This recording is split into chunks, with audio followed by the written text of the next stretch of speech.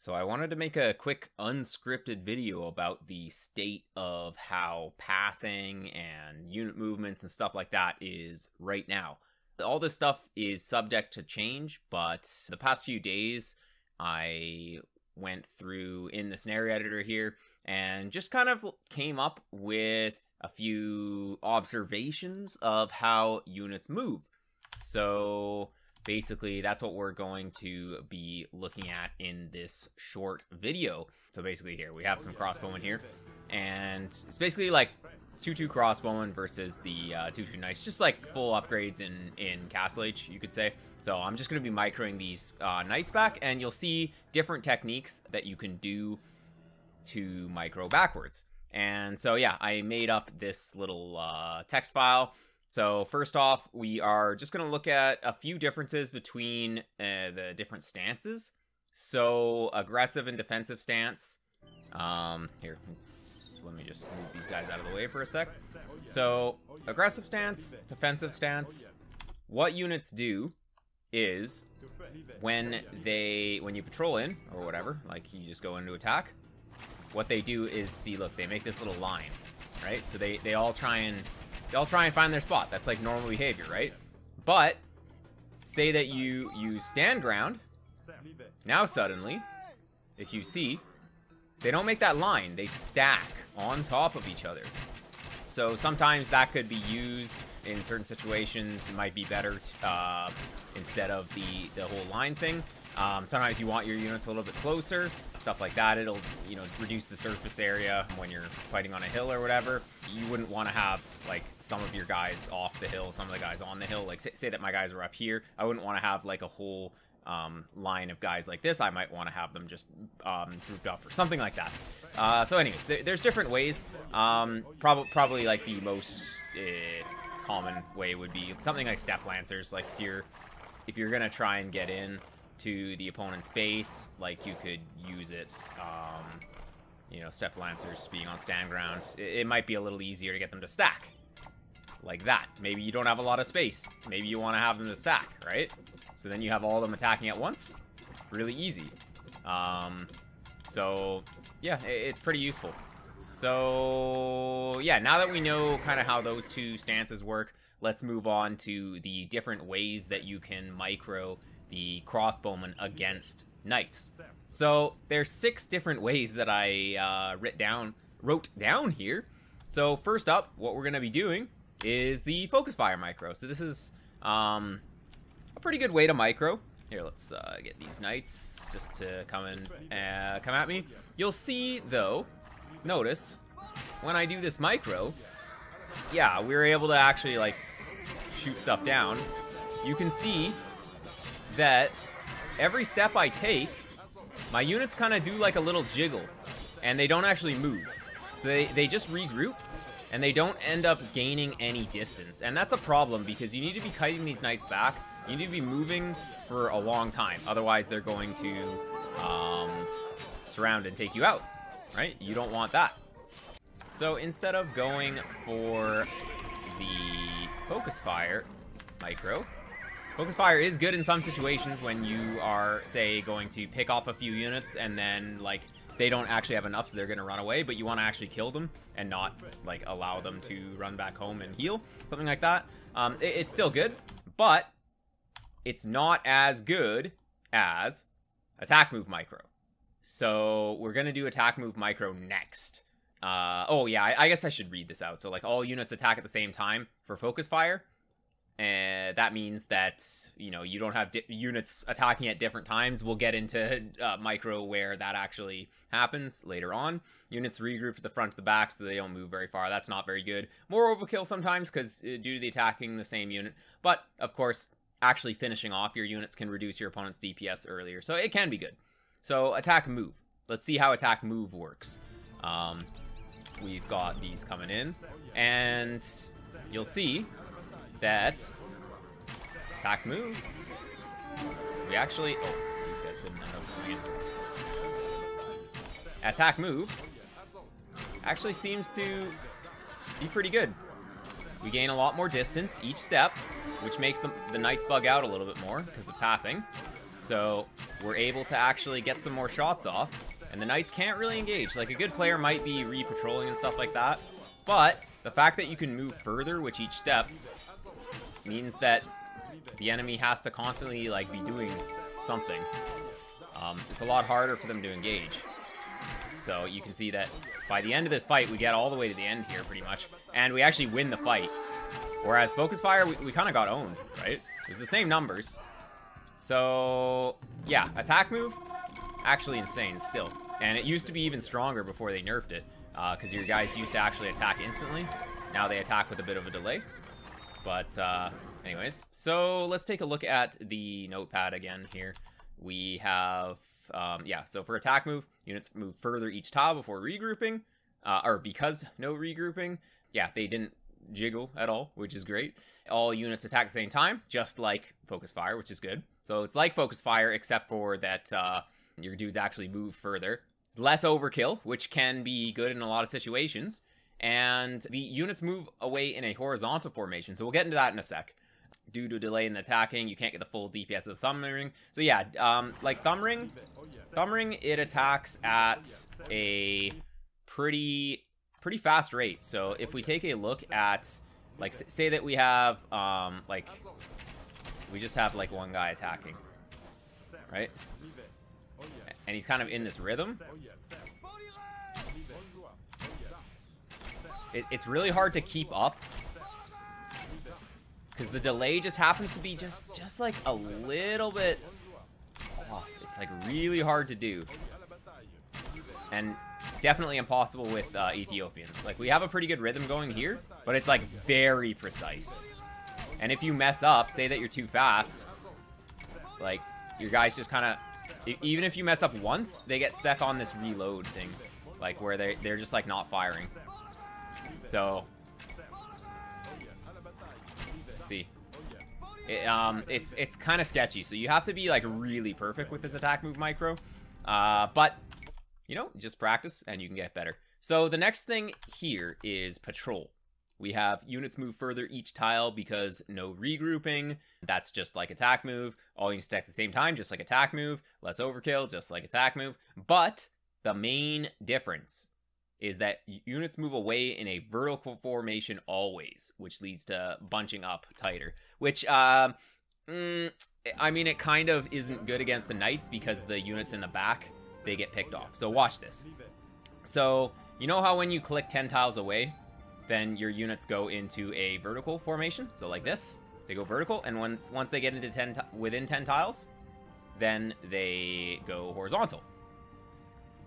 Makes sense? Vertical, once they get to around 10 tiles, which is like here, there go, then they go horizontal.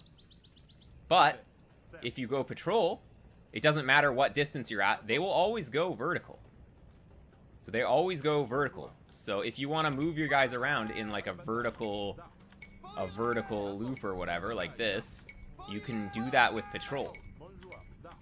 And they actually, they don't like regroup or anything, they just move. So kind of cool. You can think of different ways, um, ways to use that. But, uh, you know, they have to be in patrol, so, you know, you, you might, if you want to actually move like that without your guys attacking, you would have to uh, use no attack stance. You'd have to uh, no attack stance and then patrol. Then they would actually move without um, without attacking. But anyways, so if we take a look at attack move, attack move, look, they move like a movement command. So if, if you do it 10 tiles away, like say I do it down here, they will move in that vertical. So just like movement command. So attack move moves your guys like movement command. Um, and that can be useful because look, we can we can kind of keep them in this this uh, vertical or sorry uh, horizontal formation, which can sometimes be pretty good. I mean, we can see we have a little bit of regroups around the around the edges. We've got like some of them kind of bugging out a little bit, but uh, you know, uh, you'll find that a lot of these mechanics are very bugged, which is why I'm making this video, because um, yeah, nothing really works intuitively in this game. So yeah, patrol, always vertical. Attack move, horizontal. That's the biggest difference. That's actually, that's basically like the only difference, other than patrol makes them go back and forth. Alright, so let's look at Patrol Micro. And you'll see that it's very similar to Attack Move Micro, but they kind of like, they bunch up into the center every single time that they attack. And they don't end up regrouping quite as much with this, which actually you kind of want a little bit of regrouping because it, it cycles the weak ones to the back, which can be good. So, like, you don't really get that with attack move either, although sometimes with attack move they do uh, put the weak ones in the front. I mean, it, it still happens with patrol here. So, patrol micro and attack move, very similar, but I think that overall, from my testing, attack move is just a bit better. Just, I've had much better results, or at least slightly better results with attack move. I think we, we had 11 at the end of uh, attack move as well, so, I mean, it's basically pretty similar. Obviously, there's going to be a little bit of, um, a little bit of error in just, just the fact that every time that I micro them is slightly different. Um, but I think that attack move is just superior to patrol. Oh yeah, also, units that are close to enemy units and buildings will get stuck and, and not shoot sometimes. So that's not very fun. Um, if we take a look at these dudes here, uh, we will see that in action.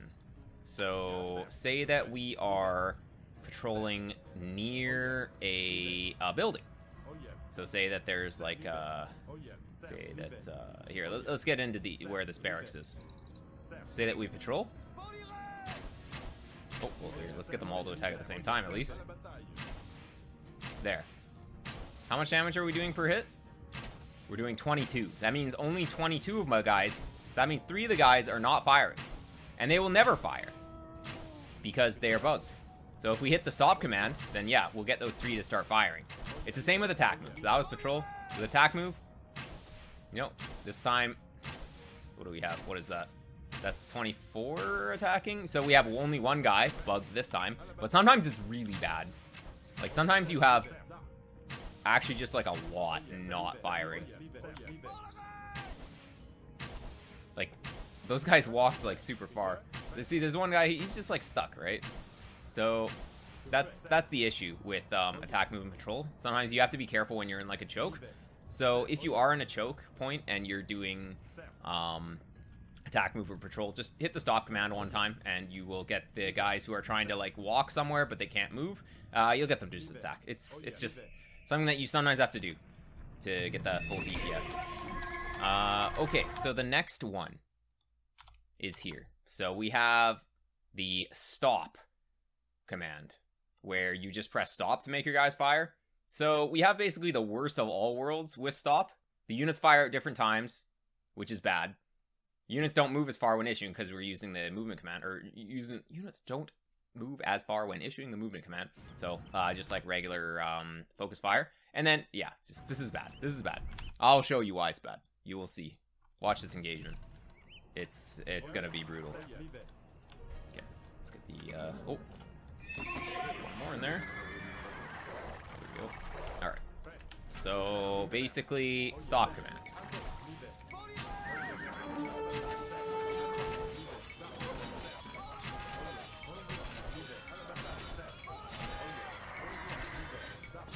Like, they barely move because of the movement command.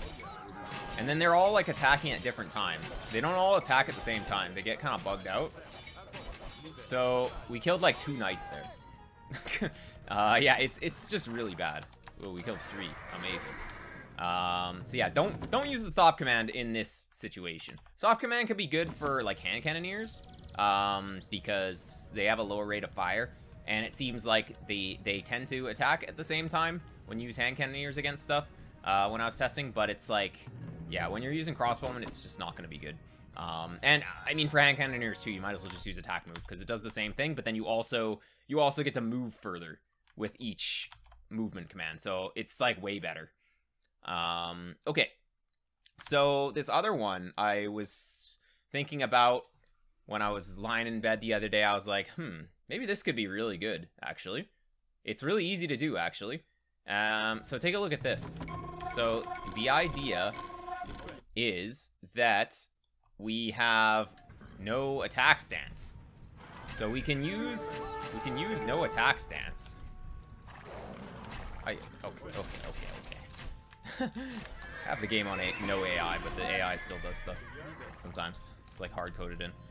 Um, okay, It's fine. Um, so, basically the idea here is you switch between no attack stance and one of the other stances while you um, patrol backwards. If we take a look, it's actually pretty cool. So what we do is we patrol back. We patrol back on no attack stance. And then all we have to do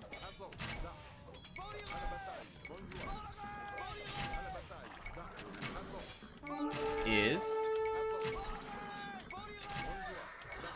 just switch stances to attack.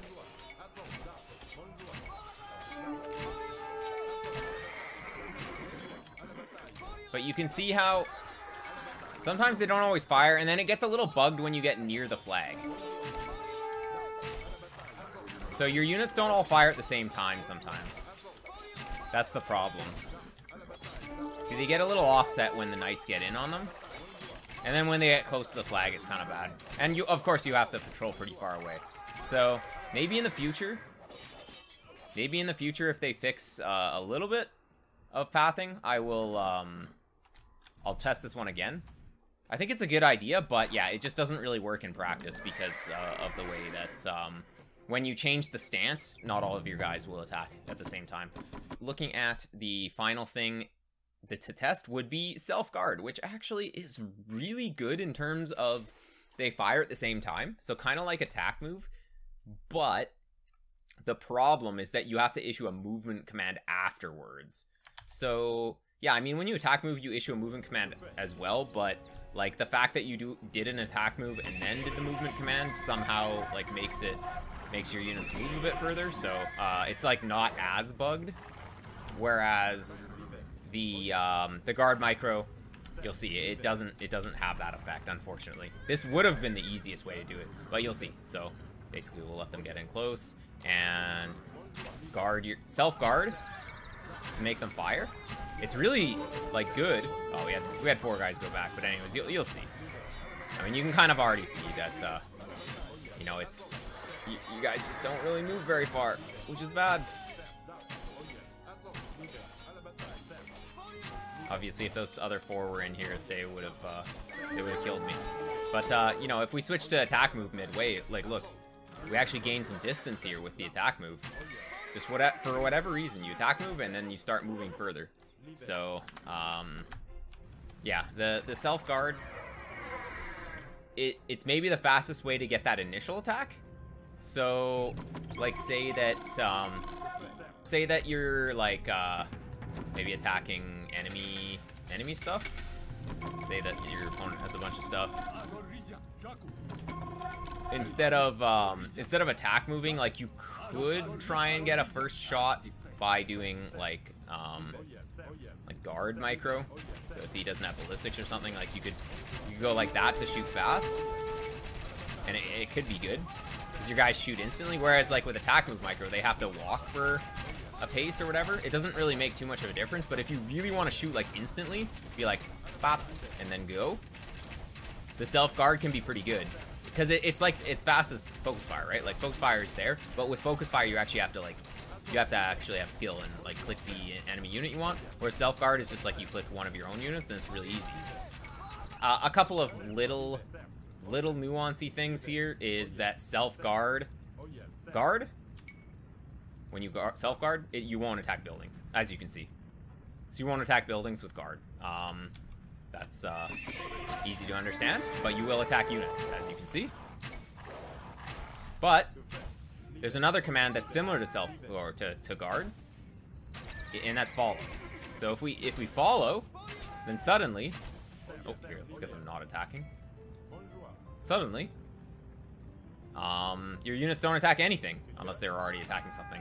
So, yeah, like follow kind of, it just makes the units follow the, the thing that you you follow. But um, they, they will never attack anything.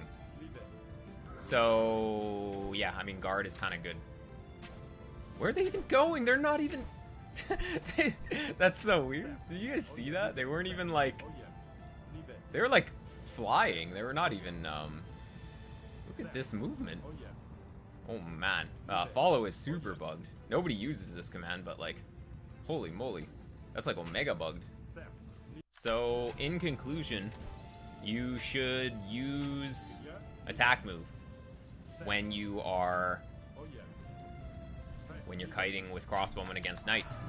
Um, actually, I should show another another thing. Like uh, the reason why another reason why you'd want to gain some um, some distance is when the opponent has mangonels with their knights, which is pretty common. Like you need to gain some distance against this because like say that we're using focus fire micro. Say that we're going focus fire. So we're like focus firing and we're trying to get like maximum DPS. Look, like the mangonels move faster than crossbowmen. They actually move faster than crossbowmen when you're doing this kind of micro. Like it's so bad. So you can't do focus fire micro anymore because of uh, regrouping, which they they made worse when um, it was the patch when they made attack move worse, but they also made it so that you couldn't spam click to like go faster. You used to be able to like any unit that was split up when you when you would spam click like they would they would speed up to catch catch the group. But nowadays, actually what your group does is it slows down to the speed of the the slower unit or at least it like slows group down when you um, are regrouping. So it's like really bad. Or or if you have like a group and you want to go somewhere, like a lot of the time your units will just like they'll just regroup and they'll like go backwards to, to group instead of just like walk towards the target. So um, yeah, it's really bad. But yeah, like so say say that there's this. It doesn't even matter how many mangonels because the mangonels will never catch me when I'm using attack move micro. So like with attack move micro, the mangonels will never catch because I'm actually moving at a far distance here. So this is this is the superior way to micro. Um, at in the current patch. Yeah, the mangonels like they don't even see they don't even see anymore. That's how far away I am. So yeah. Um I think that's all I have to say. So hopefully this was useful. If you have any comments, just leave them in the comment section down below. And um, yeah, I'm hoping that they fix unit movement. That would be great. Maybe reduce a few of the bugs that are in the game. That would be awesome.